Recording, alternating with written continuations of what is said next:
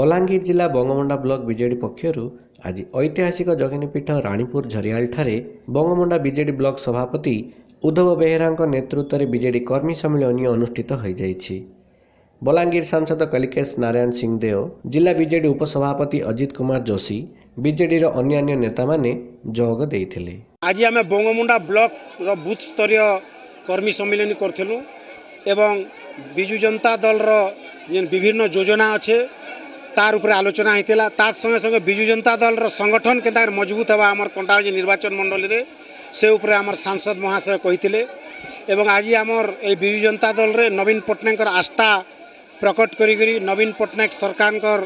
বিভিন্ন উন্নয়নমূলক যোজনা লোকঙ্কর সুবিধা দেখিকি আজি বহুত সংখ্যারে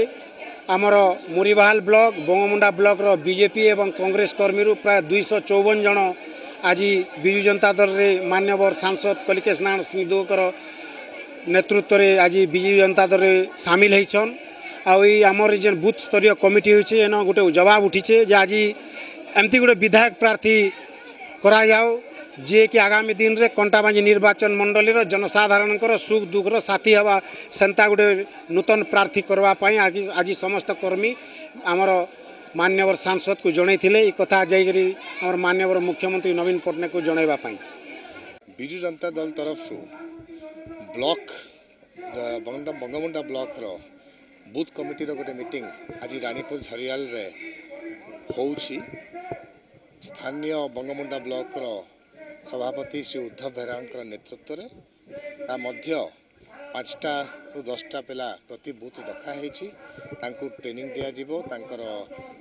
ଦଳ ତରଫରୁ କାଣା କାଣା ସୁବିଧା କରାହେଇଛି ଲୋକଙ୍କ ପାଇଁ ସେ ସୁବିଧା କେନ୍ତା କରି ଭଲ କରି ପରିଚାଳନା ହେଉ ଆଉ ଦଳର ଯାହା ସଂଗଠନ ଅଛି ଆଉ କେନ୍ତା କରି ସଂଗଠିତ କରାଯାଉ ଆଗାମୀ ଇଲେକ୍ସନରେ କେମିତି ତାର ପରିଚାଳନା କରାଯାଉ ତା ଉପରେ ଆମେ ଗୋଟେ ମିଟିଂ ରଖିଛୁ ତିନିଶହ ଖଣ୍ଡେ ବିଭିନ୍ନ ବ୍ଲକରୁ ଆସିଥିବା ଭାରତୀୟ ଜନତା ପାର୍ଟିର ୱାର୍କର୍ସ ତଥା ଲୋକାଲ ଲିଡର୍ସ ବିଜୁ ଜନତା ଦଳକୁ ଜଏନ୍ କରିବାକୁ ଯାଉଛନ୍ତି ଆଜି ଯାହାଦ୍ୱାରା ଦଳଟା ଆଉ ସଂଗଠିତ ହେବ ସେମାନେ ପ୍ରଭାବିତ ହେଇଛନ୍ତି ନବୀନ ପଟ୍ଟନାୟକ ତରଫରୁ ଆଉ ତାଙ୍କ ନବୀନ ପଟ୍ଟନାୟକଙ୍କର ଯାହା ଯୋଜନା ଅଛି ତାଠୁ